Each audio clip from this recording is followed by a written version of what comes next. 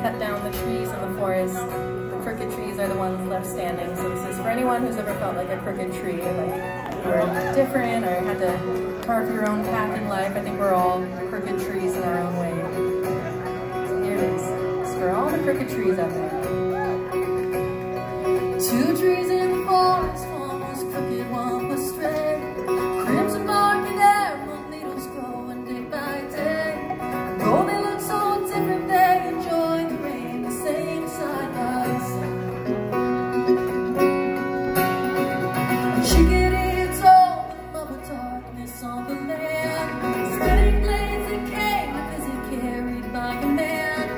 Every